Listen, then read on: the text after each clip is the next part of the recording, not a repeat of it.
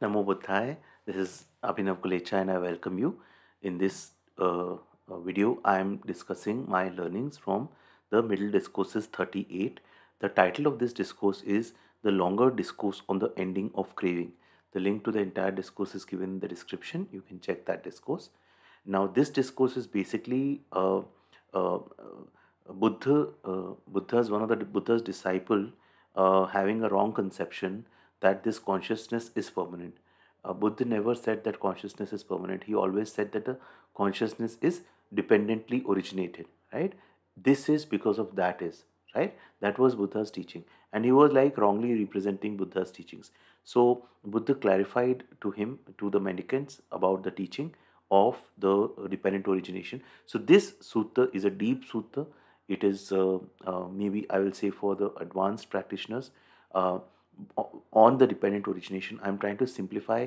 I'm also a student of the buddha so i'm trying to simplify it so that we can all understand what are the main points from this sutta right? So there was this sati the fisherman's son who was a mendicant and he was say following a who was following a harmful misconception uh, that as i understand the buddha's teaching it is the very same consciousness that roams and transmigrates not another so Buddha definitely spoke about transmigration, that a consciousness transmigrates and you know uh, leads to a new body taking up the new consciousness. But it is never the same consciousness. Buddha said that every moment the consciousness is changing, right? Because of the five aggregates form, feeling, mental formations, consciousness, they are all changing. So at one point, the, con- the consciousness, it's like a river. It's like five uh, five uh, rivers con, con there is a confluence of five rivers. At one time there is you cannot dip your feet in the river in the same river twice.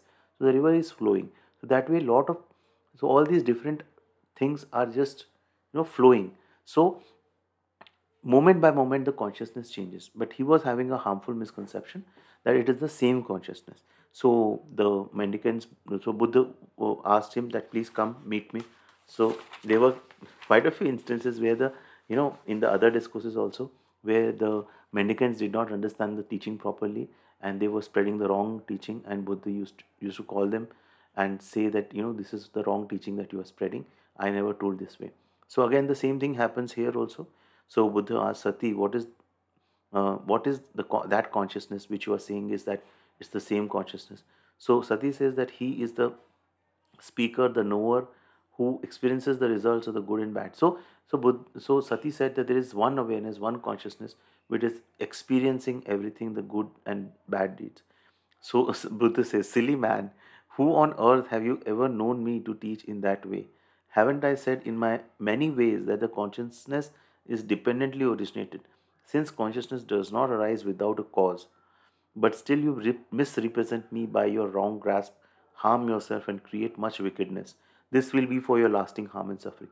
So, misrepresenting Buddha's teachings causes harm to the person, right? So, Buddha is talking that I already told you that it is dependently originated. There has to be a cause for the consciousness to arise. So, still you are saying the wrong thing. So then Buddha, Buddha then gave a discourse to the mendicants who were present there, and uh, Buddha said that uh, Buddha is basically saying that consciousness is arising dependent upon the very same condition, according to the very same condition dependent upon which it arises. That means there has to be a condition, and according to that, that particular consciousness arises. So, Buddha is giving the example of that a consciousness that arises dependent on the eye and sights is reckoned as eye consciousness. Consciousness that arises dependent upon our ear and sound is recognized as ear consciousness, and so on. So we have five senses and six senses. Six is like the mind. So whatever we basically, whatever comes in contact with our eye field, corresponding consciousness gets generated. Right? So co consciousness just doesn't exist by itself. That is what Buddha is trying to teach. It arises in the moment when that particular sense base interacts with the outside element and then that particular so buddha is now giving here the analogy of a, like a fire that fire also is basically it's like fire which is reckoned according to the very same condition dependent upon which it burns. For example, Buddha says that a fire that burns dependent upon logs is reckoned as log fire. A fire that burns dependent upon twigs is known as twig fire. So, depending upon the type of the thing that is burned, accordingly the type of fire is.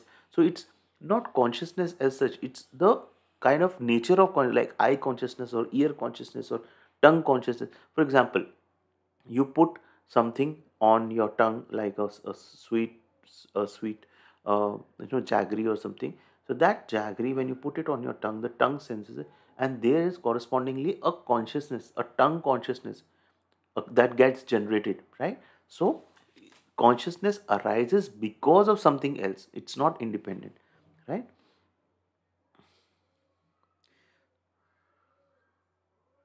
So then buddha is talking about the there is like a question answer buddha is doing with the mendicants. That mendicants do you see that this has come to be? That means this consciousness has come to be. That means it has arisen.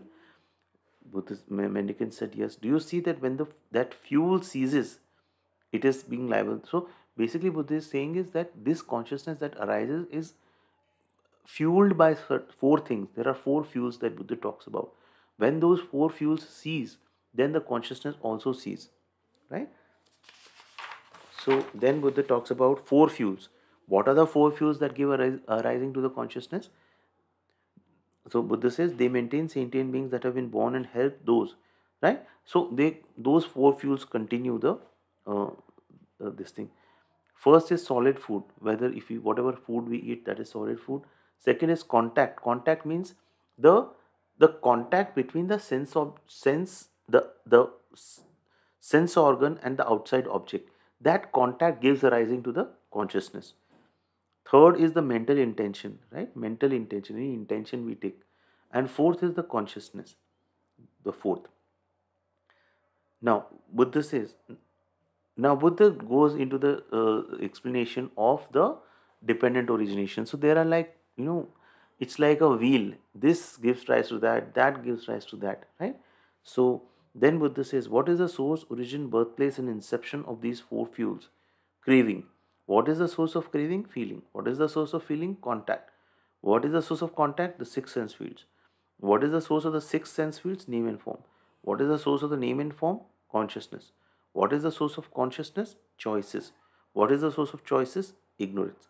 So here basically Buddha is talking about that this whole reality, this whole creation that has come into is basically because of this dependent origination cycle right that because of ignorance choices happen choice because of choices consciousness happens because of consciousness name and form happens because of name and form six sense fields happen because of six sense fields contact happens because of contact feeling happens because of feeling craving happens and and so on which leads to birth old age and death and all the entire mass of suffering that we are into right so this is the teaching of buddha that totally is you know it's, it's a standout from the you know teachings in the Vedas about a permanent self that exists and everything. Because Buddha said that there is no permanent self. Everything is just arising at this moment basis something else. Right? So once we understand this, then we start to just witness whatever is arising right now. We do not grasp, we do not wish to be reborn, right? We just are witnessing that how we have created our suffering for ourselves and now we have a clear path to come to get out of that suffering right otherwise if we have if we remain obsessed with this you know who am i who who i will be in future lives what i have been in past lives all these wrong views that i have a permanent self then we will remain remain uh, uh, within trapped in samsara right? So this is buddha's core teaching. I am also trying to grasp this teaching you know in my own way trying to you know understand read even i will start i will, I will be trying to read the Abhidhamma, right, which is a the philosophical treatises, deeper treatises on the teaching of the Buddha. A lot of work has to be done because this dependent origination, if you understand, you understand the entire Buddha's teaching.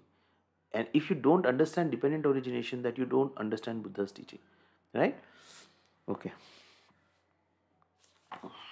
So so Buddha says that when ignorance fades away, ignorance of what? Ignorance of the Four Noble Truths. What are the Four Noble Truths? There is suffering, there is a cause for suffering, which is which is craving there is a way to end the suffering suffering can be ceased and the way to end the suffering is the noble eightfold path if we do are ignorance ignorant of that then comes the choices then comes the feeling then comes the contact. All these things happen right? So buddha says when ignorance fades away and ceases with nothing left over choices cease. When choices cease the consciousness ceases. When consciousness ceases name and form cease. When name and form cease the sixth sense field cease. When the sixth sense field cease contact ceases. When contact ceases feeling cease. When feeling ceases craving ceases when craving ceases grasping ceases when grasping ceases continued existence ceases when continued existence ceases rebirth ceases when rebirth ceases, old age, death, sorrow, lamentation, pain, sadness, distress ceases. This is how the entire mass of suffering ceases. Right? So Buddha's teachings was all about suffering and ending the suffering. So this is how Buddha explained that when you overcome ignorance, then everything else can be overcome. The entire suffering can be overcome. Right? Then Buddha talked about that uh, uh, when you understand this, will you go back in the past and, and ask, did we exist in the past? Did we not exist in the past? What were we in the past? How were we in the past? After being what, what we will, what did we become in the past? So Buddha always did never encourage this questioning about going and inquiring about the past or the future because he said that it is irrelevant. Now, what when you understand the dependent origination in detail, you just apply it in the present mode. You neither get lost in the past nor you get lost in the unnecessary questions in the future right? So buddha said that knowing and seeing in this way mendicants would you turn forward to the future thinking what will we exist in the future? Will we not exist in the future what will be in the future how we will be in the future after being what what will i become in the future? Buddha said no point in discussing. Even the present buddha buddha says that even the present you should not have these questions. Am i am i not? Who am i? What am i? How am i? This sentient being where did it come from? And where will i go? No questioning. Because see answers of these questions you will not get. Just understand this concept that how this this suffering has been created and then just work your way up and follow the noble eightfold path to clear this suffering right? Okay so then buddha is here talking about one more thing is that buddha always said that the teaching his teaching one has to learn by direct experience and not by only why buddha has said something or some learned teacher has said something. So buddha says that do you say do you agree with the teaching only because that the teacher is respected and you speak out of respect. Mendicants no. Said no. Uh, do you say that uh, agree with the teaching only because the ascetic says no or or right? So and then buddha even said that do you believe that the observances and boisterous superstitious rites or the various ascetics are essential buddha? So mendicant said no. So buddha said aren't you speaking only of what you have known and seen and realized so yes sir so what buddha is basically saying that encouraging people is that you see things from your own direct experience buddha has given the teaching buddha has shown the way but Buddha says that you do your own direct experience.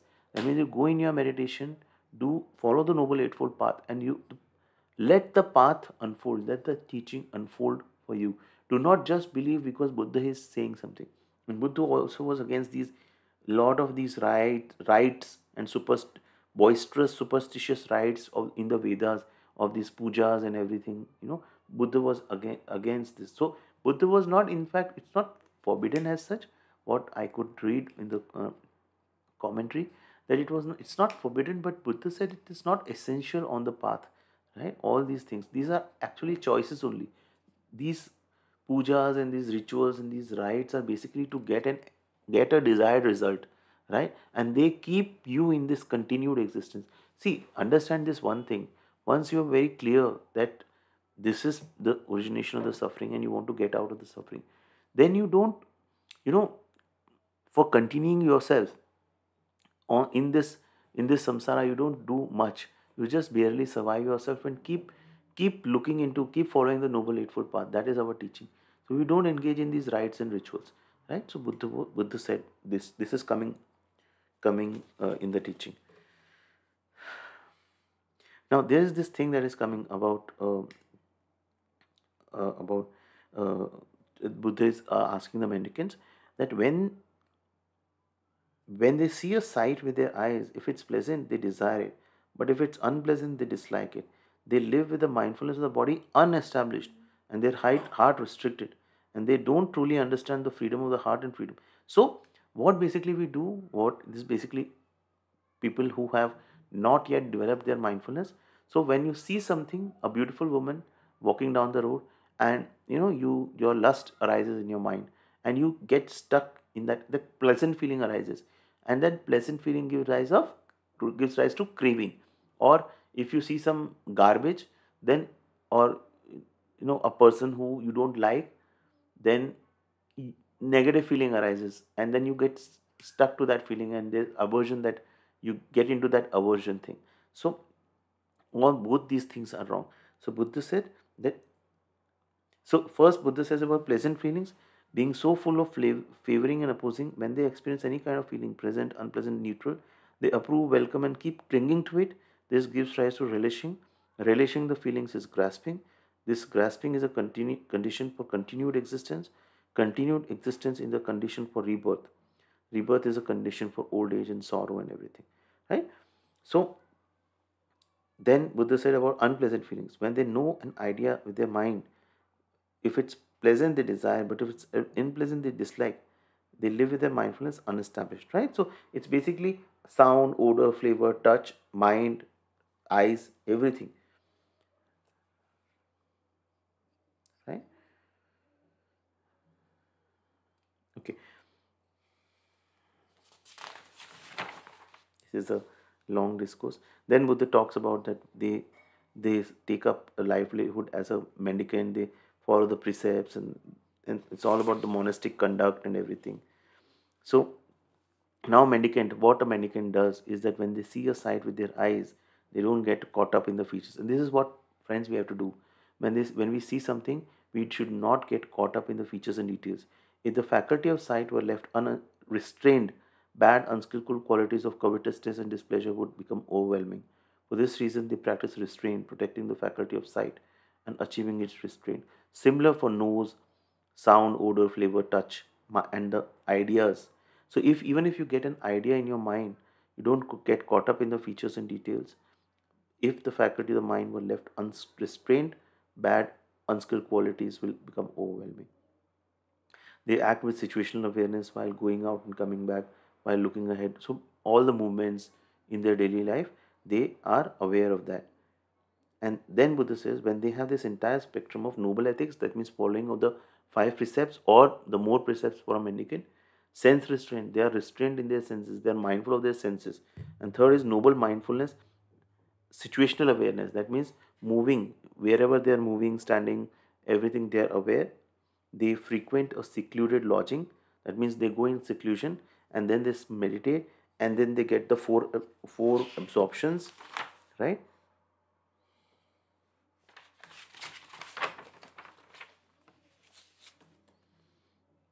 when they see a sight with their eyes if it's pleasant they don't desire it. If it's unpleasant they don't dislike it. They live with mindfulness of the body established and a limitless heart and they truly understand the freedom of heart and freedom by wisdom where all those arisen bad unskillful qualities cease without anything left over right? So this is what buddha's teaching was and this is what we, in vipassana meditation we do that we just sit and we allow whatever is arising. We don't grasp we don't cling and we don't also uh, kind of are aversing or we are don't run away from any of the difficult sensations right? So this is the middle discourses 38 longer discourse on the ending of craving uh, it's a deep discourse.